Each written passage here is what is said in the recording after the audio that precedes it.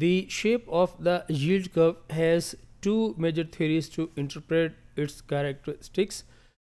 These theories are the expectation theory and the liquidity preference theory. First is the expectation hypothesis theory. Uh, we see that the forward rate is the market consensus expectations of future short interest rate. This means that the forward rate is the uh, subject of the expected future rate and it also assumes zero liquidity premium. Uh, the observed long term rate is a function of today's short term rate and the expected future short term rates. If we uh, exp uh, express this in equation form, we will see that 1 plus y2 raised to power 2 is equal to 1 plus y1 into 1 plus f2 here 1 here f2 is the forward rate and uh, y2 is the uh, rate at the end of year 2 or it is the yield at maturity.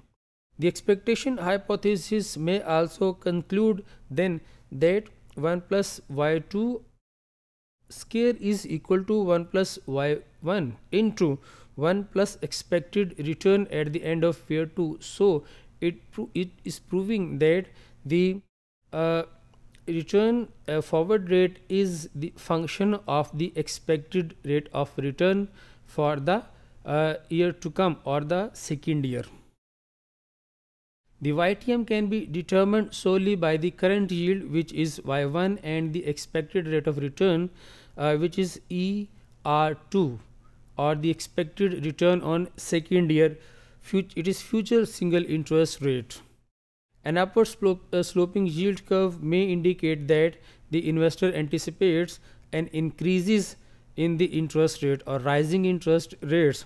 This theory does is not limited to the nom, uh, uh, nominal bonds only.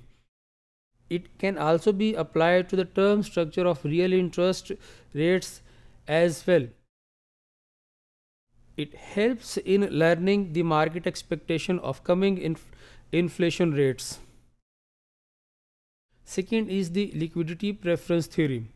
Uh, we see that short-term investors hold long-term investment or long-term bonds if F2 is greater than the uh, expected return of the year 2. Long-term investors will hold short-term bond if the scenario is reversed means if expected return is greater than the F2.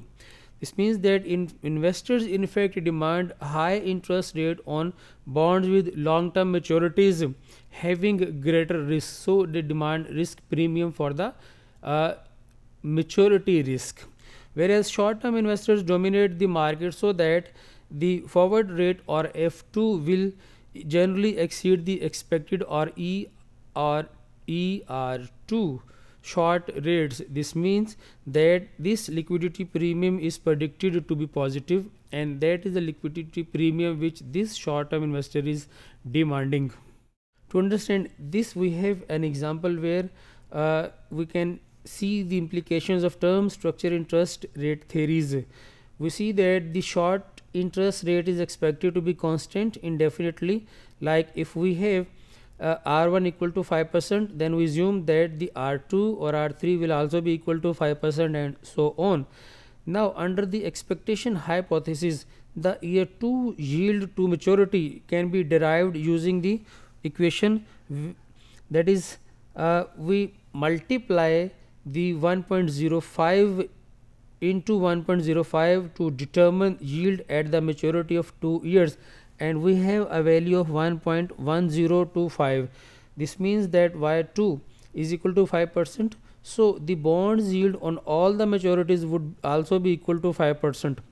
Now under the liquidity preference theory the y2 would exceed er2 this means that there would be the liquidity premium. Now assume that liquidity premium is 1 percent. So f2 is 5 plus 1 is equal to 6 percent then the value of 2 years bond will be determined using the similar formula that 1 plus r1 into 1 plus f2 and we have the value of r1 equal to 5 percent and the value of F2 uh, is a 6% that we have uh, just computed. So the yield at the year 2 would be equal to now uh, 1.13.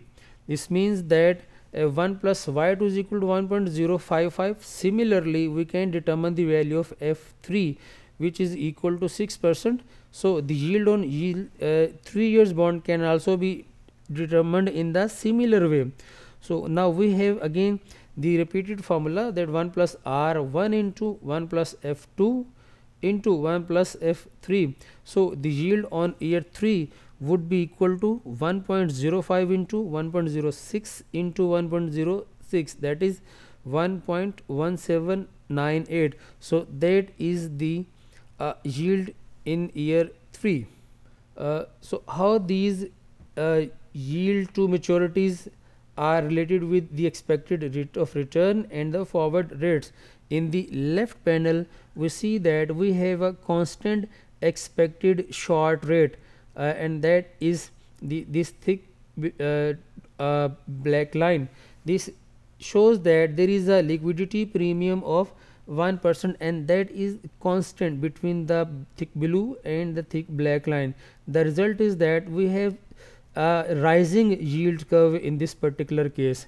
In the second case, we where we have a declining expected short rates in the form of this thick black line, we see that we have an uh, increasing trend in our liquidity premium and that is increasing from this onward this. The result is that we have a rising yield curve which shows that if the falling expected interest rate and that is the rising yield curve the expected rates are falling in in this way. In the third case we have a scenario where we have the expected short rates at the declining stage and that are declining here. We see a constant liquidity premium which is available between the blue and black thick lines.